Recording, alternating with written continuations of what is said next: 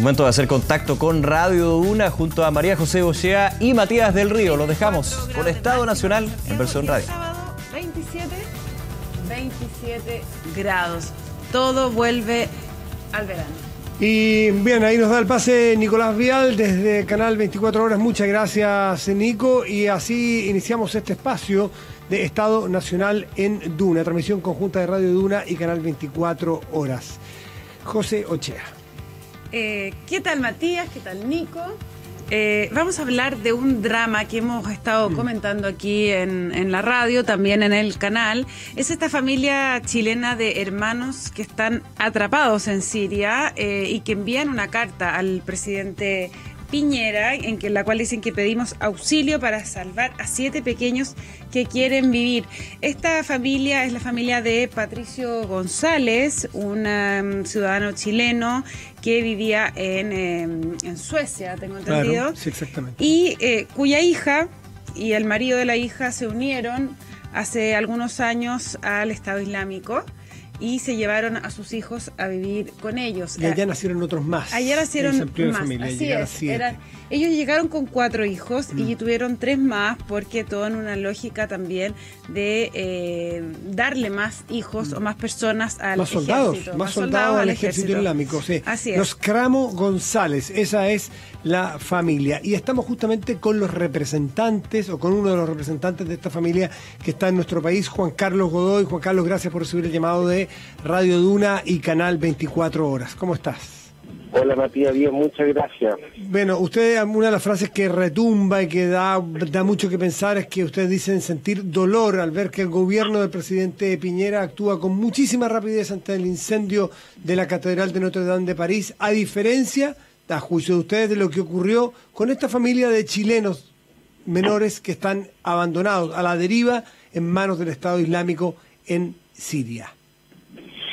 Sí, sí, a nosotros nos sorprendió porque en definitiva hace alrededor de dos, dos semanas le pedimos a la Cancillería chilena poder actuar en este caso, en el caso de los siete niños que están eh, con riesgo vital en, Siria y no, no hemos tenido respuesta alguna hasta el día de hoy.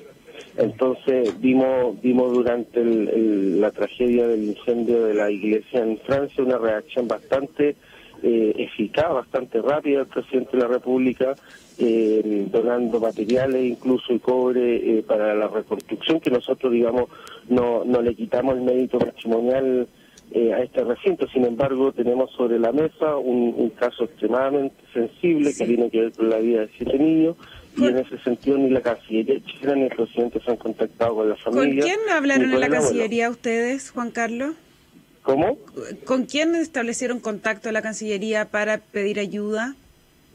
Bueno, nosotros le mandamos una nota al ministro de Relaciones Exteriores, pero nos atendió el jefe consular y de migración, don Paul Sangüesa. ¿Ya? Él quedó incluso, él quedó incluso de mandarle el teléfono personal a Patricio, no se lo mandó, al abuelo de los niños, y toda la información que tenemos a través de la Cancillería nosotros la hemos obtenido a través de algunos parlamentarios, medios de comunicación que nos han mandado información que a ellos sí la entregan y a la familia no.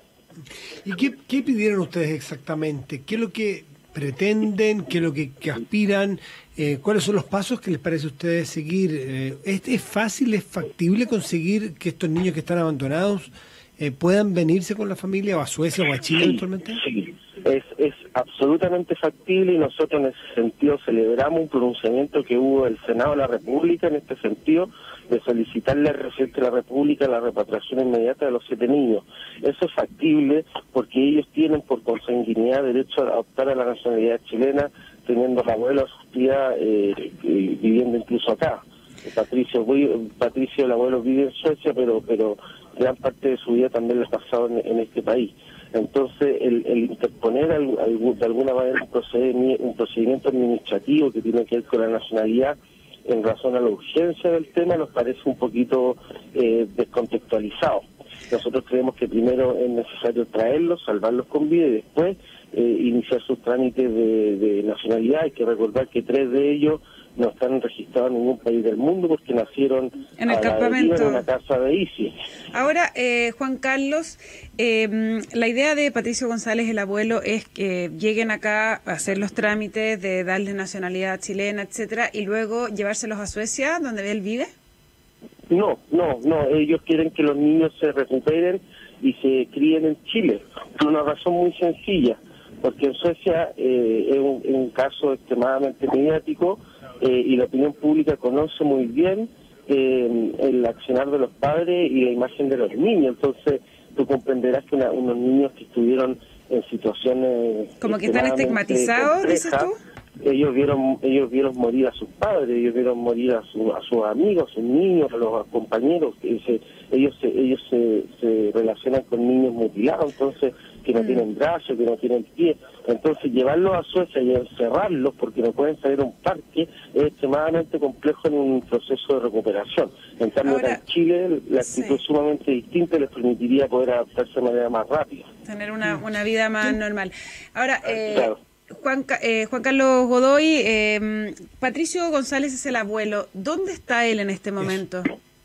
Mira, Patricia en este momento se encuentra en Irak, en la frontera con Siria, está hace aproximadamente 20 días en el país, eh, tuvo que salir de Siria en su momento porque eh, las autoridades sirias, al, al, al ser un, tema tan emblemático, se, se vieron complicados de forma interna en un debate político en Siria que, que digamos, llevó a recomendaciones de, de irse hacia Irak. Él está en Erbil, que es la frontera con Irak, esperando la autorización para traerse a los niños desde Siria a Irak, porque tiene ya la autorización para salir de Irak hacia Siria. Ah, se los puede llevar. Gestiones, gestiones que él ha realizado de forma particular, ningún gobierno en este caso lo ha apoyado. Ahora, eh, perdona la pregunta, pero ¿cómo está financiando todo esto? Porque lleva 20 días allá, son siete niños, es una cruzada bastante eh, cara la que está llevando Titánico, lo que adelante. está haciendo. sí. Juan Carlos. Se nos cortó Sí, la estábamos- comunicación, sí. estábamos conversando con Juan Carlos Godoy, el representante de la familia Scramo González. Son estos siete niños que están en un campamento eh, en Siria luego de que sus padres murieron eh, producto de eh, acciones, o sea, de que ellos estaban Mm. eh, en el Estado Islámico. Ahí está Juan Carlos de vuelta. Juan Carlos, te escuchamos. Sí, sí.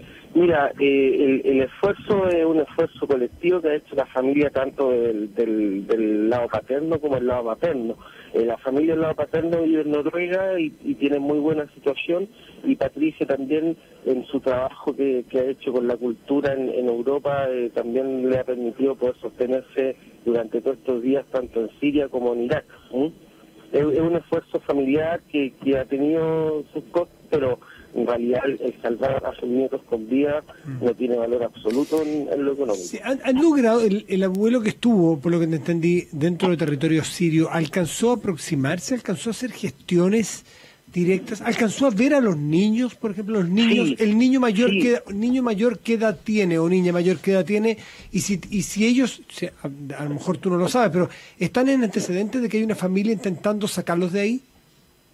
Sí, sí, Matías, el mayor tiene ocho años. Bueno, hay que hay que entender que Patricio eh, se fue a Siria con, solo, con su mochila, eh, en busca de la suerte para poder encontrar con vida a sus nietos porque no sabía nada de ellos desde enero, desde que murieron los padres. Eh, él fue solo y logró empatizar con la autoridad del gobierno sirio para poder trasladarse a la región del norte de Siria donde está el campamento de Al-Hol. Al-Hol, donde están los niños. extremadamente sí, claro, extremadamente peligrosa, pero pero lo- las autoridades sirias lo, lo ayudaron a trasladarse. Ahora, las autoridades kurdas, que es un gobierno autónomo de la zona, un, un, grupo, digamos, religioso que busca validarse como como como territorio, con, o sea, como nación con territorio. Una etnia. Eh, es una eh, etnia. Exacto. Sí. Es una nación, pero que busca validarse como Estado. Sí, claro. Entonces ellos tienen el control de la zona, de la frontera, del campamento. Las autoridades kurdas se conmovieron con Patricio y, lo dejaron ingresar al campamento y verse con, con los siete niños ah, como por alrededor de tres horas. Estuvieron juntos, de, de, hecho ahí él conoció a sus nietos menores, porque no ah, ellos nacieron en el, en, dentro de la, del Estado Islámico. ¿Qué antecedentes te entregan? A, los tres nietos menores. Y es ahí, Matías, donde los médicos le dicen a Patricio, mira, tú no te llevas a los niños de aquí a 15 días, van a comenzar a morir porque tienen una infección pulmonar grave y una, una desnutrición extrema, ni siquiera grave, extrema.